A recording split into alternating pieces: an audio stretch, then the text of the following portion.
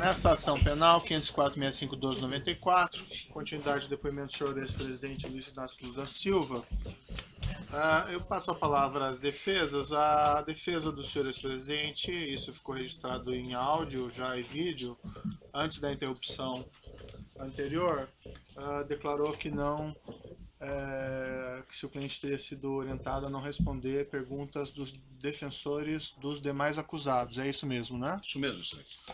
Bem, uh, eu normalmente. Ah, a doutora aqui voltando.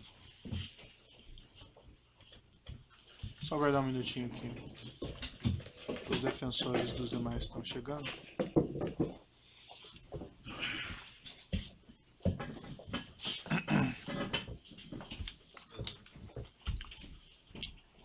Bem, então, como eu ia dizendo, os, o defensor do senhor ex-presidente mencionou antes de interrompermos a audiência que o seu cliente não pretendia responder as perguntas dos defensores dos demais acusados. Ah, não obstante ah, esse direito ao silêncio, eu indago aos defensores se ainda assim querem fazer as perguntas para ficarem registradas ou preferem não fazê-las.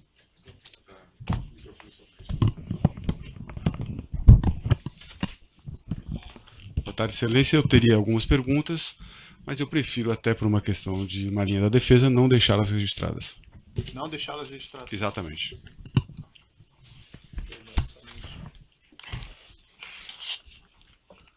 Ah, os defensores do próprio acusado, então, têm perguntas? Você tem alguma pergunta?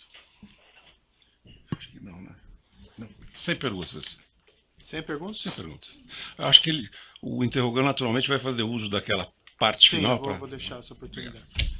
Ah, senhor ex-presidente, então, o seu interrogatório chegando ao final, o senhor gostaria de fazer alguma declaração no final? Gostaria, doutor. Então, fique à vontade. Gostaria. Bem, primeiro, eu gostaria de dizer que eu estou sendo vítima da maior caçada jurídica que um presidente ou que um político brasileiro já teve. Eu, quando fui eleito presidente da República em 2003, eu tinha um compromisso de fé. Eu tinha consciência que eu não podia errar, porque eu me espelhava no Valessa, na Polônia, que depois de ter sido sindicalista, depois de ter sido presidente da República, ele foi presidente de quatro anos e quando tentou se reeleger teve apenas 0,5% dos votos. E eu dizia para mim todo santo dia que eu não tinha o direito de errar, porque se eu errasse, a classe trabalhadora nunca mais iria eleger alguém do andar de baixo. Nunca mais. O presidente da República não foi feito para metalúrgico, não foi feito para quem não tinha diploma universitário, não foi feito para quem só tinha diploma primário era torneiro mecânico.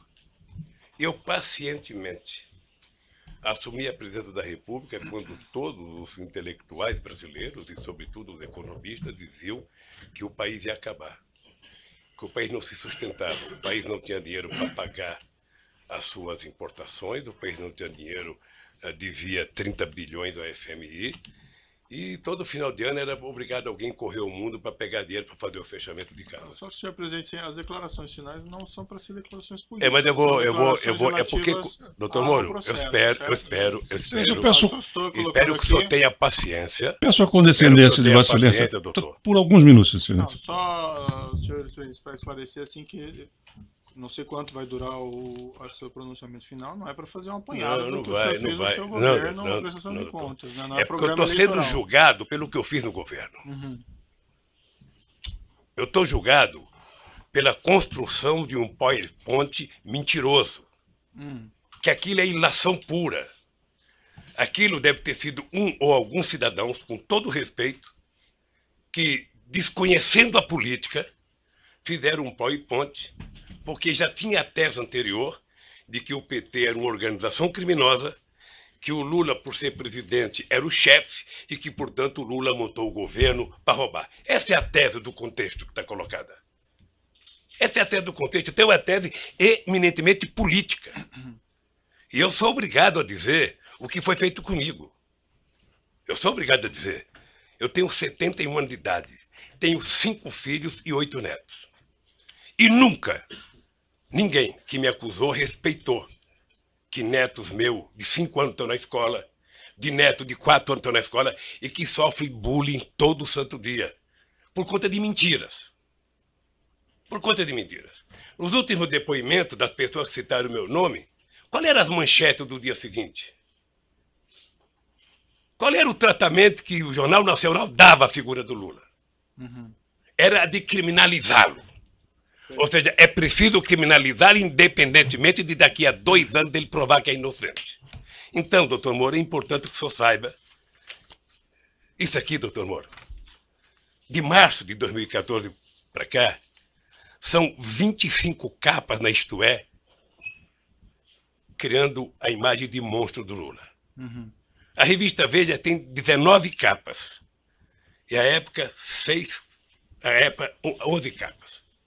As capas é apenas fechamento da matéria, porque dentro é demonizando Lula. As pessoas nunca, os meus acusadores nunca tiveram 10% do respeito que eu tenho por eles. Mas quando o senhor fala acusadores, o senhor fala imprensa ou o senhor fala. Eu, eu, não, eu, falo, eu que- falo os vazamentos que que saem para a imprensa. Eu falo dos vazamentos que saem para a imprensa, porque determinadas coisas são feitas. sabe? Eu conheço os vazamentos. Eu sei os vazamentos. Eu sei o. o, o, o, o- é como se o Lula tivesse, ah, pela imprensa, pelo Ministério Público, sendo procurado. Procura-se vivo ou morto. Só para Eu- eu- eu quero- Não, só, só para esclarecer, senhor presidente, eu compreendo a sua reclamação contra a imprensa, a imprensa tem a liberdade dela, ah, enfim, mas não é a imprensa que faz a acusação aqui nesse processo.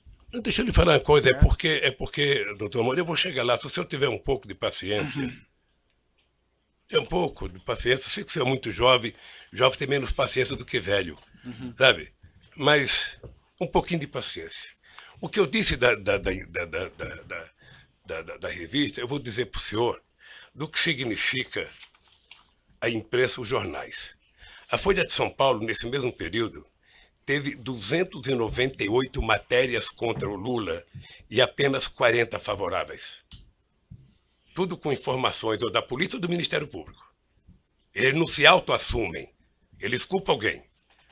O jornal o Globo, que é o mais amigo, tem 530 matérias negativas contra o Lula e oito favoráveis.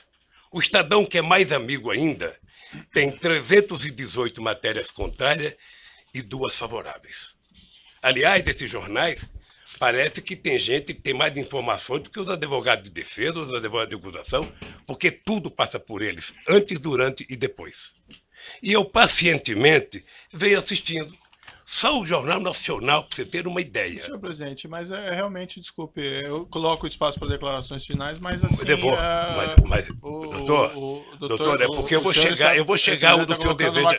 Eu vou chegar onde o senhor deseja que eu chegue, doutor. Aham. Eu vou jogar. Eu vou jogar só o Jornal Nacional. Foram 18 horas e 15 minutos nos últimos ano, nos últimos 12 meses. 18 horas. Sabe o que, significa 18 horas falando mal de um cidadão? Significa 12 partidas de futebol entre a Barcelona e Atlético de Madrid. E eles não Então- divulgaram dos- sobre os outros Hein? também? Não divulgaram sobre os Não, outros? não, não. tá? É que, é que a gente nunca na- pega todos, porque eu estou falando apenas do Jornal Nacional, que é mais importante, mas eu poderia pegar Bom Dia Café, Bom Dia Almoço, Bom Dia Não sei das contas, Bom Dia Janta, Jornal da Zona, Jornal da 10, em todos os canais de televisão.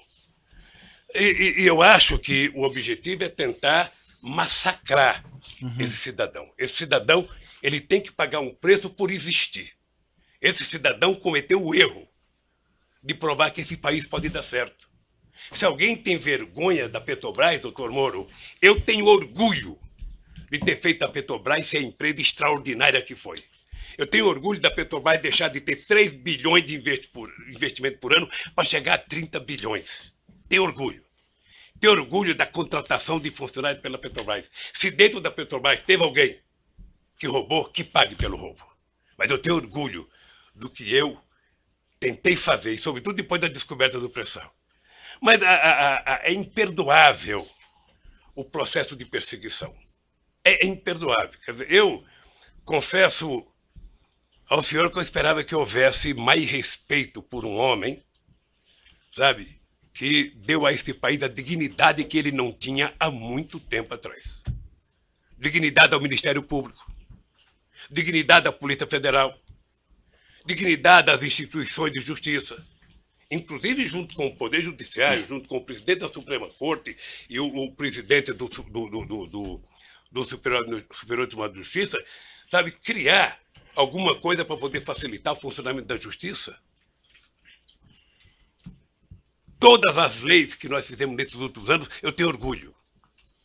E não me sinto vítima dela, não, eu tenho orgulho. Eu, quando indiquei um ministro da Suprema Corte, doutor Moro, eu não julguei para ele votar favorável a mim. Eu nunca pedi para votar. Aliás, nunca pedi para ninguém. Senhor presidente, eu Então, compreendo eu- as, suas, as suas ponderações a esse respeito, mas realmente foge bastante aqui. Eu sei, não foge não, do doutor. processo. Não foge, O doutor. senhor ex-presidente Não foge, doutor. Sabe por quê, doutor? tem acesso depois Não, a, mas sabe por que que não foge? Não, não, não, não é- doutor. O, o senhor daí pode Esse fazer que, é, essas o- declarações. esse que é o problema, doutor. Ah, Esse que é o problema. É que na medida que foi feito um acordo de que não é possível você, na Lava Jato, condenar pessoas, políticos importantes ou pessoas ricas, sem o apoio da imprensa, se adotou a política de primeiro a imprensa criminalizar. Ou seja, a polícia, alguns, algumas das pessoas que são acusadas, e ninguém é atacado 10% do que eu sou atacado. Ninguém. Ninguém. Ninguém nesse país se juntar. Se juntar. A cara do Barosco, que roubou não sei quantos milhões, não aparece 1% do que aparece na minha cara, que não roubei um centavo. E que eu esperava que o Ministério Público, numa audiência como essa, na sua presença, trouxesse aqui, sabe, um, um- um- o direito jurídico de propriedade. Está aqui, o seu Lula disse que não é dele, está aqui ó, o documento, ele comprou, pagou, tem escritura pronta. Agora, diz, fulano disse que não sei quem disse, que não sei quem disse. Esse negócio de olhar um prédio e não comprar, doutor, outro dia eu falei para o jornalista Kennedy, certamente o senhor deve já ter ido em loja com a sua mulher para com sapato. Sim. E certamente ela escolheu umas 30 caixas, o coitado desceu caixa, deixou caixa, e ela experimentou 40, não gostou de nenhum, foi embora. O vendedor deve ficado muito nervoso com ela, deve ter até xingado pelas costas, mas ela não comprou e não é dela o sapato que ela experimentou. Então, eu- o que eu quero é que se pare com ilações e que me diga qual é o crime que eu cometi.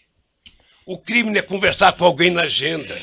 O crime não é ter ido ver, ver, ver um triplex. O crime, doutor, eu cometi se eu comprei o apartamento, se tem documento que eu comprei, se me der a chave, se eu dormi lá alguma vez, se a minha família dormiu, se tem escritura pública. Como é que alguém pode imaginar, em sã consciência, doutor Moro, que um cidadão compra um apartamento que vale 10 e depois declarou no imposto de renda cinco anos seguidos e depois aparece um apartamento que vale 20, sabe, sem nenhuma explicação. Mas, senhor ex-presidente, a questão aqui, a acusação está posta pelo Ministério Público na denúncia, evidentemente o senhor tem oportunidade de se defender, mas o Ministério Público afirma aqui que teria havido corrupção e lavagem. Excelência, lavagem de dinheiro Excelência, envolve pela essa ordem. ocultação de Doutor, patrimônio. Pela ordem, excelência, é o mom- a lei assegura o momento é, do, do interrogando Eles falar que provar o que existe que ele tem em sua de autodefesa. Não basta alguém levantar uma tese e essa pessoa ser processada, essa pessoa ser massacrada no meio de comunicação. Perfeito. Sabe? Não basta, doutor. Então, eu, eu, eu quero dizer para o senhor que eu sou um homem que fui presidente oito anos, respeitei as leis como nenhum presidente respeitou, fiz mais novas leis como nenhum presidente fez, batalhei para que, que acabasse com a corrupção junto com o ministro Maston Babate, o ministro da sabe? E participarei de todas as audiências, porque se tem um brasileiro que deseja contar a verdade, sou eu. Se tem um brasileiro. Agora, o que eu gostaria, e é uma coisa que me magoa profundamente, é que o cidadão passasse matéria para a imprensa depois do cidadão ser julgado. Ele roubou mesmo, foi condenado. O senhor acompanha quantas matérias de jornal já me condenou. Quantas páginas de jornal tem nenhum respeito a nenhum familiar meu. Certo. Mas aí nós estamos na questão da imprensa novamente. Não, ver doutor, mas é que a imprensa tem a ver com Ele isso. tem- A imprensa é o principal julgador disso. Mas não. doutor. A imprensa é o principal jogador. Veja, eu sei que o senhor vai dar atenção final como juiz. Isso. Mas veja, se não fosse o Lula ser o que ele é, ter a relação com o Brasil que ele tem, Aham. nenhum cidadão brasileiro aguentaria 10% do que eu estou aguentando. Certo. Senhor É só assistir o Jornal Nacional hoje que você vai ver. Então o que eu quero é que se tenha respeito comigo. Se tenha respeito. Se eu cometi um crime, prove que eu cometi um crime. Apresenta à sociedade. E o Lula será punido tanto qualquer cidadão brasileiro que errou é punido. Um juiz, um presidente, um desembargador, todo mundo é punido. Mas pelo amor de Deus, apresentem uma prova. Apresentem. Chega de diz que diz. Eu tenho um amigo que é um metalúrgico. Se o senhor conhecer, ele vai gostar, que ele tem a seguinte filosofia. O importante é o principal, o resto é secundário. Então, por favor, contra mim, vamos utilizar o principal. Vamos dizer, o Ministério Público tem, tem, sabe, algum documento que mostra que eu comprei o apartamento, tem alguma escritura, foram em alguma, alguma imobiliária lá em Santos, foram em algum lugar, pelo amor de Deus, mostrem. O meu problema não é os adversários. Meu problema é que eu tenho um neto de quatro anos que me perguntam. Eu tenho um neto de cinco anos que me perguntam. Então, se vocês não têm respeito pelo meu, eu quero que vocês tenham pelo de vocês. E não vale o tanto que vocês vazam para a imprensa. Certo. Eu- eu vi aqui, eu vou. Desculpa, eu vou interromper suas declarações finais, porque o senhor está fazendo aqui Veja, o. eu Na... Eu estou falando hoje É um em dois minutos, político. doutor Moro. Não, eu estou falando em dois minutos, um doutor Moro, o que se fala de político. mim há dois anos, É. doutor Moro. Mas assim, senhor presidente, tem uma acusação, essa acusação é pública, essa acusação, pela Constituição e pelas leis, ela eh, não tem como manter sigilo sobre ela. Então não existe vazamento em relação a essas, essas ações doutor? penais. Não existe. Não, não tem. O que tem é vazamento proposital. Não, essa tem penal é jornalistas, que eu não vou citar o nome para não valorizá-los, que eles sabem do que vai acontecer um dia antes. Certo, eu essa- poderia citar o Fausto lá do Estadão, eu poderia citar a revista Veja, Certo. eu poderia citar um tal de blog que tem nos Estados Unidos de um cidadão, sabe, que sabe das coisas, três dias vai acontecer. E meus advogados precisam vir aqui implorar para saber. Há o interesse de vazar, doutor Moro, Certo. porque esse julgamento ele tem que ser pela imprensa. Senão é difícil. Agora, qual é o problema? Eu vou terminar para não tomar o tempo de ninguém aqui. Qual é o problema, doutor Moro? É que situa- essa situação está difícil, sabe, doutor? Eu vou lhe dizer uma coisa para ficar com a minha consciência leve. O comprometimento da justiça e o comprometimento da acusação com a imprensa está levando a um impasse. Porque alguns canais de televisões e alguns jornais fizeram disso a sua peça principal de notícia. E eles estão com dificuldade, como é que isso vai acabar se esse tal de Lula foi inocente? Como é que nós vamos prestar contas aos nossos telespectadores, aos nossos ouvintes, se de repente esse Lula não cometeu o crime que disseram que ele cometeu? Porque esse é o problema da mentira, que depois você não tem como voltar atrás. É essa a Então, finalização? então eu queria só pedir aos meus acusadores que levem em conta que vocês são muito jovens e que vocês têm muito tempo pela vida. E o Ministério Público, que é uma instituição que ninguém respeita como eu respeito, não foi feito para isso. A acusação tem que ser séria, tem que ser fundamentada. Ela não pode ser especulativa.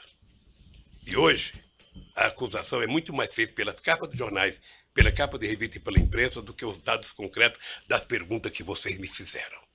Sinceramente, pelas perguntas que vocês me fizeram, o doutor Moro não deveria nem ter recebido essa acusação. Mas, Certo. de qualquer forma, eu sou apenas um. Sou um cidadão, estou subordinado à justiça, à lei e à Constituição. E virei aqui, doutor Moro, sem nenhum rancor, todas as vezes que for necessário. Só espero que tenham um respeito por esse país, pelo povo brasileiro, e não contem nunca uma mentira a meu respeito. Muito obrigado, doutor. Certo. Senhor ex-presidente, eh, já que o senhor colocou, fez essas afirmações, eu vou colocar para o seguinte, senhor. A imprensa não tem qualquer papel no julgamento desse processo. O processo vai ser julgado com base na lei e exclusivamente nas provas.